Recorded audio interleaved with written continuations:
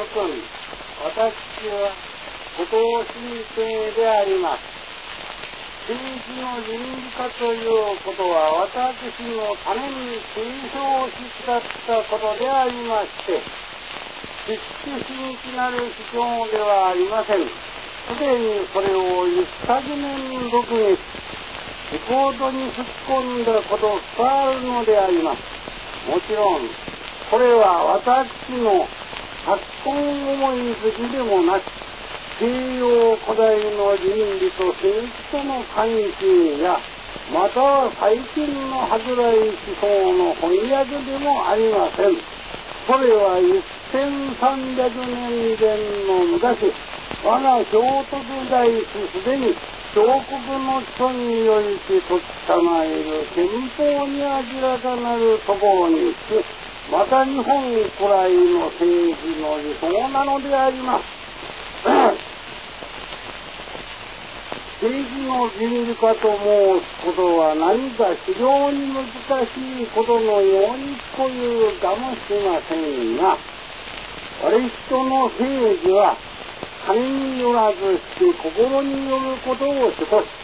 信仰に基づき信命を恐れ、常識の満足に止める国民生活に進まんとするのであります。政治が金の力の第一味となれば、現在のごとく極悪なる政治、物質万能の資源になる政治で、邪道に陥ることを免れません。これに反して、心の力第一位となれば、洋風貴族を養い、神聖なる信仰により、倫理化する政治で正道に進むことになる。これによって国民生活の改造または改善となるので、私たちが主張する政治の倫理化はこれであります。であるから、本年4月、政治の倫理化という問題を掲げて、青山会館の壇上に立ったとき、そんなことはもとより分かりつついる無用、無用の声が聴衆の間に起こるべき発と初夏に対聞いたにもかかわらず、私の飛ぶところは意外にも全国に非常の反響を呼び起こしまして、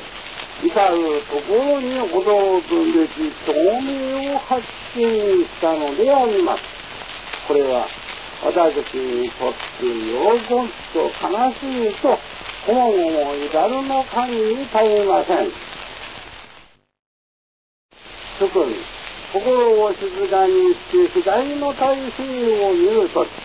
現在の日本は何々ならぬ重大なる実に望んでおることを改せられるでありましょう。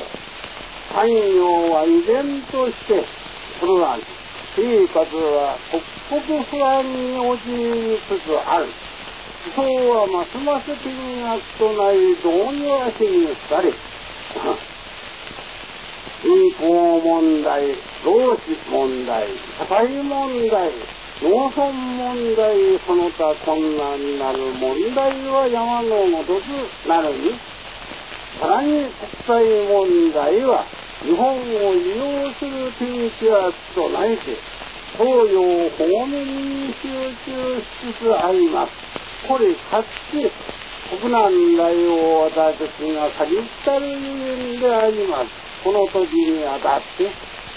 政党に何の用意があり、政府に何の国策があるか。これを思い、これを、彼を思えば、実に関心に耐えがるのであります。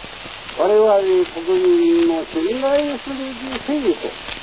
並びに政府の現状に変える現伝を隠すことは、あながち無理ならねども、息子国民から帰りにく、通じ中政として、数の鉄筋が必要でありませんか。なわち何を総動員として起こる倫理化と実的自覚の運動であります。今や、格のごとき十代の実にあたり、私の最も熱望をしてやまないことは、将来対中するところのごと幸いに全国に皆にるはつらつたる青年の間に天をも焼きがごとき国民精神が燃えて、濁った政治さえを倫理化し浄化して、もって社会を一新せんがためにおのおのにから見受けられることであります。はい